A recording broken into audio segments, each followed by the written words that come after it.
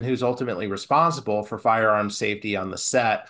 The fact that somebody did die indicates that there was some kind of negligence. Hannah Gutierrez Reed found guilty of involuntary manslaughter, but found not guilty of tampering with evidence in the shooting death of Halyna Hutchins.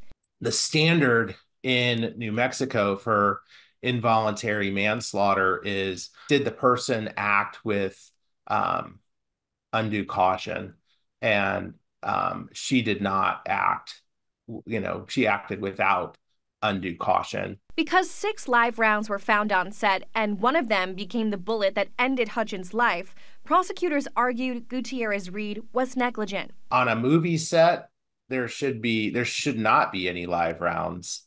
Um, live rounds really don't belong anywhere on a movie set. The prosecution also argued that live rounds did not match the prop rounds that were seized from the film's ammo supplier. I was not surprised when I saw that the armorer in the Rust case had been found guilty. We really shouldn't rely on actors who may have you know varying degrees of familiarity and training with firearms to handle firearms safe, safely. The Tempe criminal defense attorney believes this verdict will help actor Alec Baldwin's case, even though he reportedly pulled the trigger. That does give Mr. Baldwin, you know, an opening to say, I'm not the one who's responsible for this.